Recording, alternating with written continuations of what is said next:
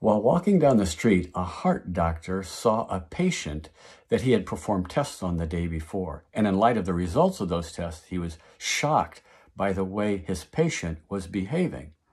His patient was dressed as if for a party. He was, he was dancing around and hopping around, and he was making a lot of noise. A shady looking woman who had obviously been drinking was hanging on one of his arms. And the doctor's dismay must have shown on his face because the man saw him and said, Hey, doc, what's the matter with you? And the doctor said, I can't believe the way you're behaving here. Why are you taking these chances? Why are you acting this way? And sort of puzzled, the man replied, What do you mean? I'm just doing like you told me yesterday, doc. You remember. Get a hot mama. Be cheerful. The doctor just exploded. I did not tell you that, he said. I told you, you got a heart murmur. Be careful. You know, sometimes people just hear what they want to hear. You're watching an In Favor video series called Treasuring Your Words from Heaven What to Do and What Not to Do with Your Prophetic Words. And we're walking you through 14 uh, steps, 14 ways to respond to your personal prophetic prophecy. So, congratulations, first of all, on receiving a prophetic word, or 10, or 15, or 50.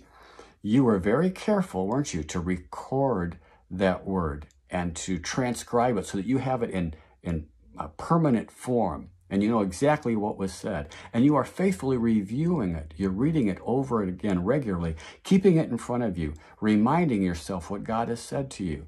And if there were parts of it that you didn't understand, you've made every effort to ask questions of your word, to discern what it means, and to interpret it correctly.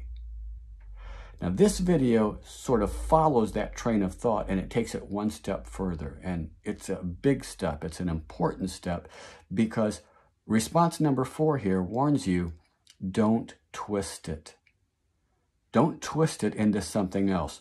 Don't twist it into something that you want it to say. You see, if you are discerning it, interpreting it correctly, then this probably won't be a problem. But sometimes our desires, our ambitions, our hopes, and our dreams can cause it to misinterpret the word, often with disastrous results. And I believe that this, twisting it, I believe that deserves individual attention and separate treatment because it is such a common mistake, and it's so easily made, and it has such devastating consequences. Just as prophets sometimes face a temptation to say what people want to hear, so those who hear the prophecies also face a temptation to hear what they want to hear, to make their own voice sound like the voice of God. So here's just a few scriptural examples of twisting the words of God. The serpent distorted God's word in the garden, and Eve responded in disobedience and sin, as did the whole human race. Abraham and Sarah involved Hagar in their misinterpretation of God's promise and his will, with disastrous results. Saul selectively disobeyed God's directives and he forfeited his throne. Peter even said Paul twisted, used that exact word. He said they twist Paul's writings to their own destruction.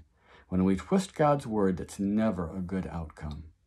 Here's a present day example. This is Cindy Jacobs, and she's discussing uh, prophecies that are being misquoted and when parts of a prophecy are taken out of context.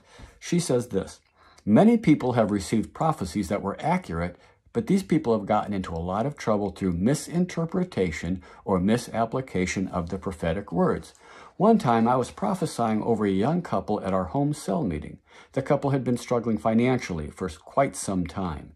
The prophecy said that God was going to give them a house if the husband would be diligent in his work and do his part, and if he would be obedient to God in every area of his life. Those were the conditions. I heard, she said, I heard through the grapevine later that this couple had bought a trailer on credit. Still later, I heard that the trailer had been repossessed and that the couple was mad at me and accusing me of being a false prophetess. Neither of them ever went out to get a job, however. They just expected the money to fall from heaven.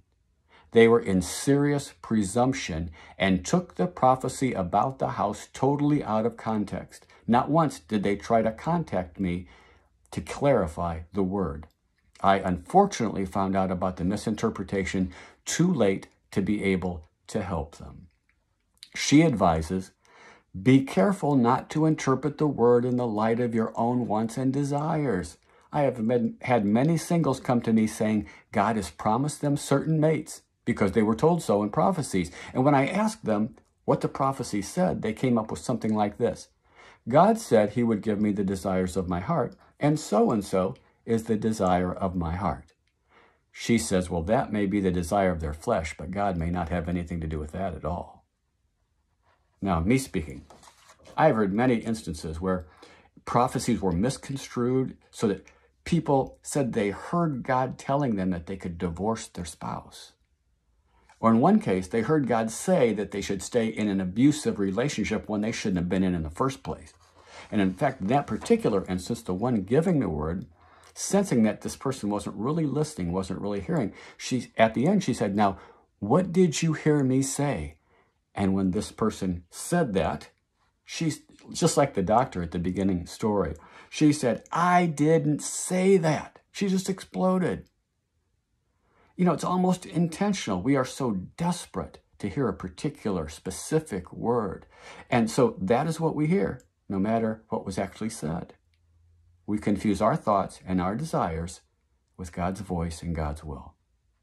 And I, I was going to give you several more examples, and, and I do so in the book, but some of these are unbelievable. Some of them are stomach turning. Others are just heartbreaking. And this is the kind of stuff that ends up discrediting the gift of prophecy and grieving the Spirit and embarrassing the church and defaming the name of Christ.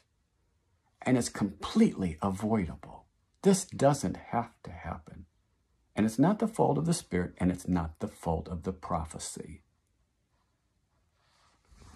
John Hark said this listen to this, this is gold. Being able to replay our words allows us to verify that what we heard the first time was in fact what was said. It prevents us from interpreting our prophetic word through the wrong lens. Many of us are in a place of desperation and hunger when we receive our words. We are standing in agreement and prayer about specific things, things like salvation of loved ones, the need for financial breakthrough, turmoil within the family, or a career change. If we aren't careful, he says, we can unconsciously interpret something we hear in the moment through the lens of our need rather than what God is actually saying. Don't get me wrong, he says. God cares deeply about your need and he is working, but it doesn't mean that this word you've received applies to that situation. And if we twist it to apply to something it wasn't meant for, we can miss out on something that is vitally important and life changing in its own way. Basically, we've wasted a prophetic word. So he says, I've worked with many people that come to me stating that a prophetic word had promised something only to listen back and realize that it was something completely different. Now, how can you make this response your own?